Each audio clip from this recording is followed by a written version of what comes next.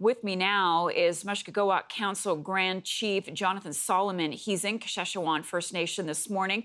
Good morning. Glad you could be with us. So, what are you seeing right now um, at the First Nation during this crisis? Can you describe for us what the situation's been like?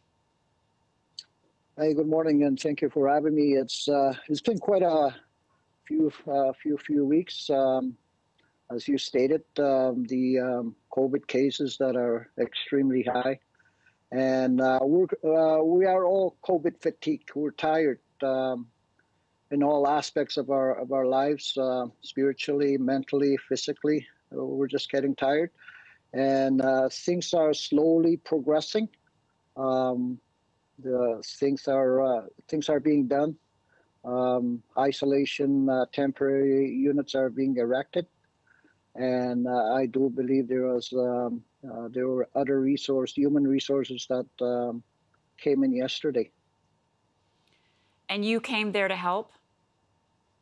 No, this is where I uh, this is where I uh, this is where I live. This is where I was raised. Um, this is where I raised my family. Um, I'm at home now, right You're now. At home now. Yeah. So, what more do people in Kashechewan need right now? Um, they need they need to get a break from this uh, COVID nineteen. Um, I'm confined to my house. Um, I'm confined to my yard.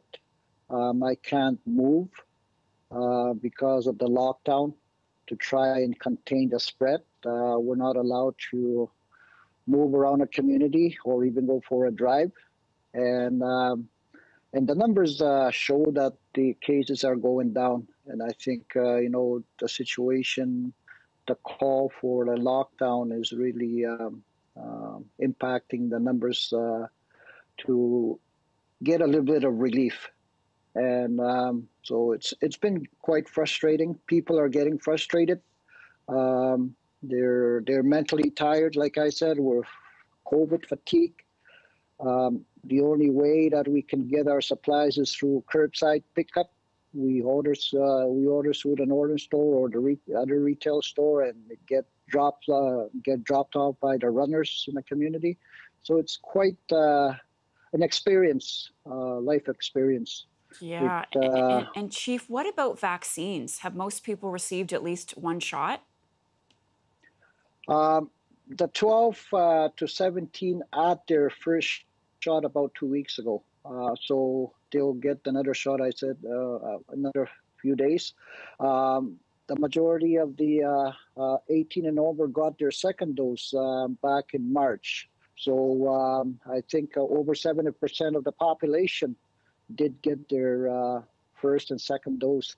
But there were over close to 300 people that were eligible in the community that did not get that shot. So uh, so we're, the chief and council and I am urging those people to uh, in any in any community to get the shot because um, we realize uh, the people that did not get the shot are getting really sick uh, because of the virus. Uh, difference from uh, those people that did get the vaccine.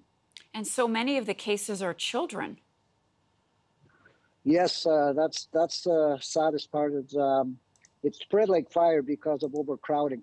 You know, and when there's uh, 10 to 18 people in a house, and once one person gets affected, it spreads like fire within that household, and that's why um, there are so many kids that are affected by the virus because of uh, overcrowding, and um, something that uh, that uh, our leadership is uh, trying to deal with.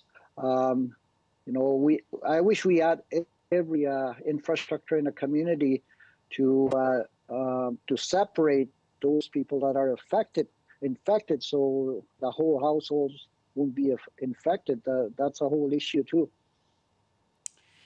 Well do you see any light at the end of the tunnel chief? Oh uh, seeing the numbers slowly go down um, i think um, we have to be patient. Um, our our uh, our will is tested because we want to do things with our kids, our grandchildren. I have grandchildren I haven't that I haven't I haven't seen for a few weeks now. I haven't had a, I haven't had a chance to hug them, you know, and uh, because they live in a different household. So uh, it's just a very challenging time, and uh, people are trying. Um, I see uh, when I talk about the lockdown, I I don't see anybody, maybe one or two people just walking around in the community um, all day. Like I said, I'm confined to my yard. I'm confined to my house. I can't move. My family can't move. We can't even go for a drive, and it's quite a challenging time for everyone.